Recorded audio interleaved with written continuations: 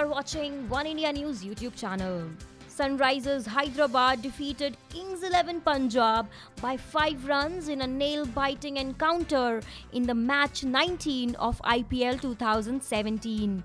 While batting first, Hyderabad posted a modest total of 159 runs for the loss of 6 wickets.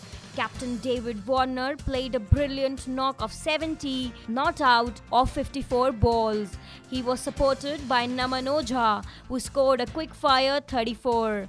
While chasing, Kings 11 Punjab kept on losing wickets at regular intervals, which built an unnecessary pressure on them. Manan Vohra, though, played a brilliant knock of 95 runs but still failed to take his team to victory. Let me tell you the summary of the match now. Well, David Warner and Shikhar Dhawan opened the innings for Hyderabad. Dhawan was dismissed in the fifth over by Mohit Sharma for the score of 15. Moises Henriques and Yuvraj Singh were dismissed on the consecutive deliveries by Axar Patel. Yuvraj Singh failed to do any kind of magic even this time as he was out on the score of 0. Naman Ojha scored 34 of just 20 balls.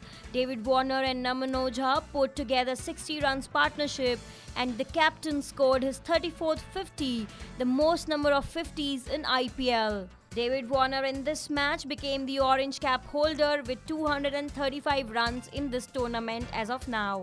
Mohit Sharma was the best bowler for Kings 11 Punjab as he took 2 wickets in 25 runs in 4 overs. As far as the bowling for Sunrisers Hyderabad is concerned, Bhuvneshwar Kumar was the star of the match. He claimed a fifer in his 4 overs and conceded only 19 runs. Bhuvneshwar Kumar was supported from the other end as well as Rashid Khan took 2 wickets as Call Muhammad Nabi and Moises Henriques clinched 1-1 wicket each. Manan Vohra played a fantastic knock of 95 of just 50 balls. This was his highest score in IPL so far. Well, and Bhuvneshwar Kumar was given the Man of the Match award. Well, that's all in this video. Thanks for watching. For more updates on IPL and other sports stories, please keep coming back to One India News YouTube channel and also do not forget to subscribe to us.